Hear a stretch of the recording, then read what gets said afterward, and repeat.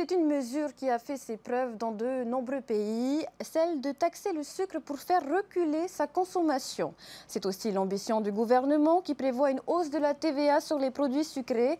Si l'annonce est vue d'un très bon œil par les autorités sanitaires, selon les industriels, elle ne changera pas les comportements au long cours. Thomas Chabrol, Esther Cuneo.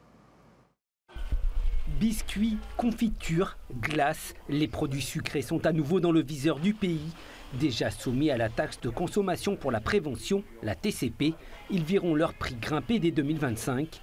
Aujourd'hui, à 5%, le taux de TVA devrait atteindre 16%.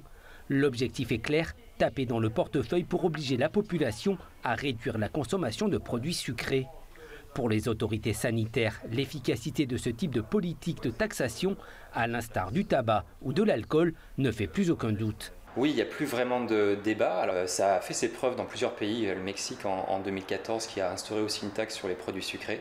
Et dès euh, l'année suivante, dès la première année, on avait une baisse de 6% des consommations de tout ce qui était boissons sucrées. Et dès la deuxième année, une baisse de, 12%. Donc c'est vraiment la preuve que le consommateur va modifier euh, ses habitudes. Euh, la France aussi a instauré une taxe soda.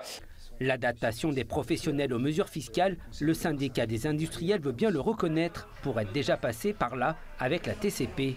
Aujourd'hui, je vous dis, deux produits sur les 25 références de boissons gazeuses que fabrique la brasserie Tahiti sont euh, au-dessus d'un brix de 10 grammes par litre.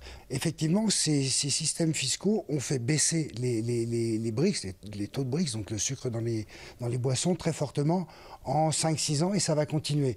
La contrepartie, c'est la baisse des ventes et les industriels s'y attendent forcément avec une crainte pour leur outil de production. Mais s'ils se disent prêts à accompagner les politiques de santé, ils se montrent sceptiques sur l'efficacité à long terme.